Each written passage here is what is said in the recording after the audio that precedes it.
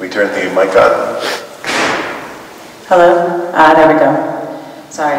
Uh, Again, my name is Kate Shapiro. I live at 4 Brighton Street in Providence, and I just want to earnestly, thank you.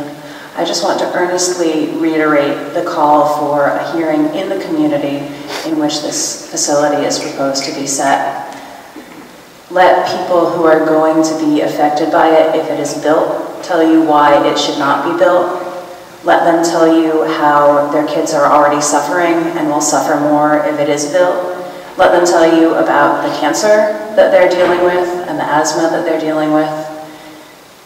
Face the consequences of this decision if you make it. And I also want to reiterate the appeals that other people have made to you. Sorry, I really am trying to speak slowly. I want to reiterate the appeals that other people have made to you to take the opportunity to do what is right for the present and the future of the people of Rhode Island. That's something that you can do. You're not trapped, you're not bound. You have the obligations of your office, but the obligations of your office allow you to make a decision based on the information that's available and the effects that your decision are going to have and you're allowed to take all those facts into consideration. So I urge you to do that.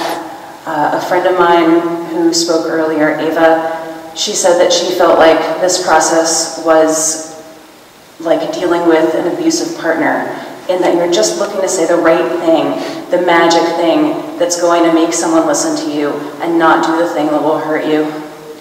Please prove her wrong about that. Please don't behave that way.